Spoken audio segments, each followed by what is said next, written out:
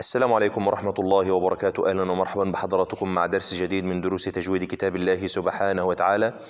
إن شاء الله هنكمل في باب صفات الحروف. تكلمنا في الدروس الماضية عن الصفات التي لها ضد وابتدينا إن شاء الله في الصفات التي ليس لها ضد. الصفات التي لها ضد قلنا إن هم عشر صفات عشر صفات.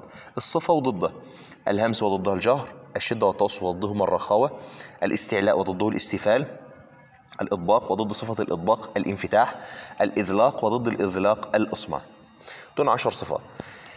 في عند الصفات التي ليس لها ضد سبع صفات. سبع صفات. إيه هم؟ الصفير اللين القلقلة الانحراف التكرار التفشي الاستطالة. إحنا في الدرس الماضي تكلمنا عن صفة الصفير وعن صفة اللين.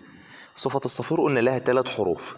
وقلنا يا جماعة إن الصفات التي ليس لها ضد بتكون خاصة ببعض الإيه؟ ببعض حروف الهجاء قلنا سين صاد زاي ثلاث حروف اللين حرفين الياء والواو الساكنتين المفتوح ما قبلهما اللي هو إيه؟ اللي هي اللين وواو اللي هو حرف إيه؟ حرف اللين النهاردة إن شاء الله هنتكلم عن ثالث صفة وهي صفة القلقلة يعني إيه القلقلة؟ القلقلة هي اضطراب في المخرج عند النطق بالحرف لشدته وجهره. بيحصل اضطراب في المخرج بتاع الحرف ده اللي هي حروفه قطب جد خمس حروف بسبب إن الحروف بتاعة القلقلة حروف فيها شدة وحروف فيها جهر. صفة الجهر اللي هي عكس مين؟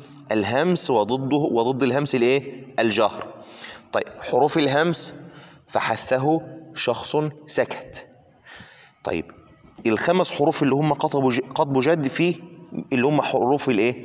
الجهر.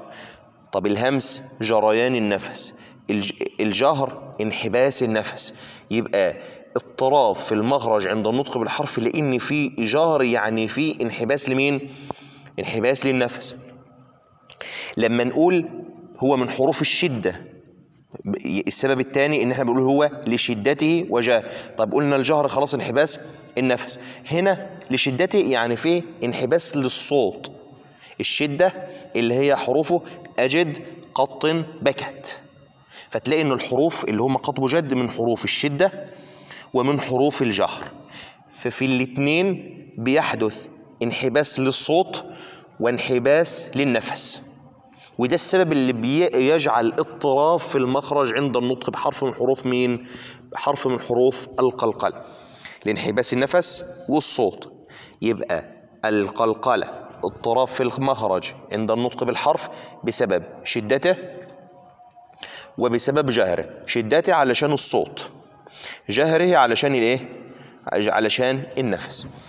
الحروف بتاعت القلقلة خمسة مجموعة في قطب جد. خمس حروف. القاف والطاء والباء والجيم والدال أي حرف من الحروف الخمسة دول لو جه ساكن سكون أصلي لو جه ساكن إيه؟ سكون سكون أصلي أصلي ده بيبقى شكله إيه في القرآن؟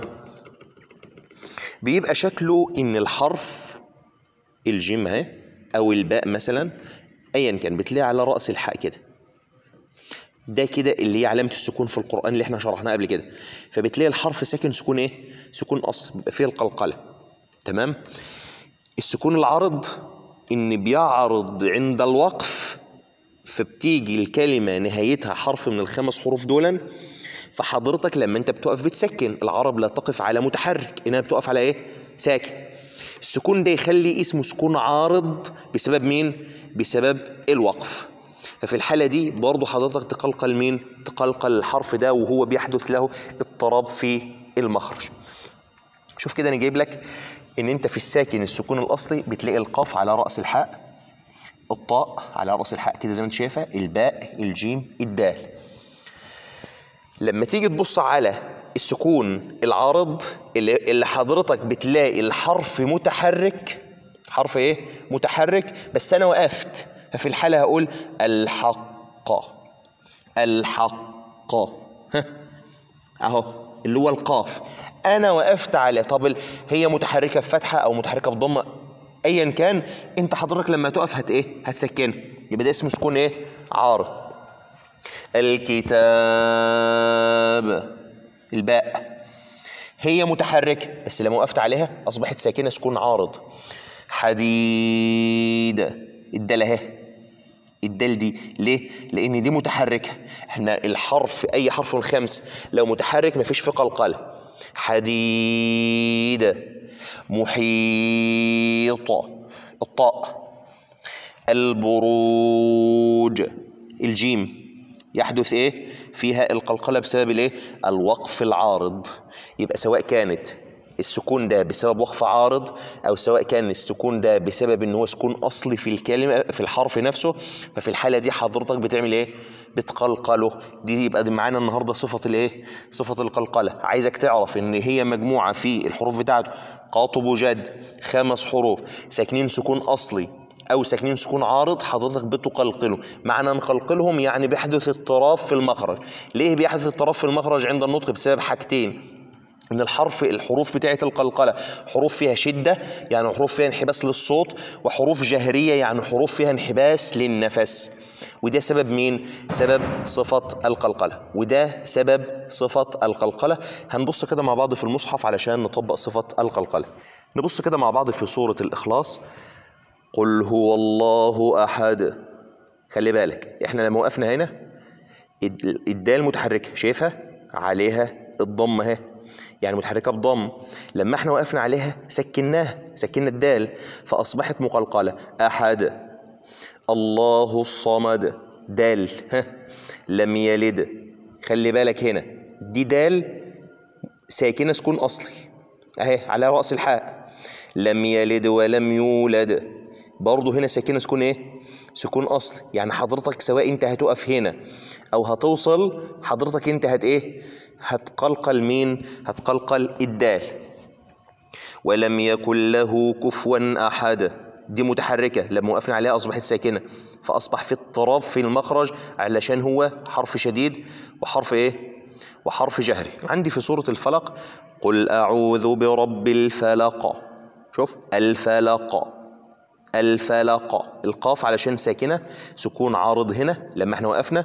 إنما لو انت حضرتك ما وقفتش ووصلتها بالحركة بتاعتها ما يبقاش فيها قلقله قل أعوذ برب الفلق من شر ما خلق ومن شر غاسق إذا وقب.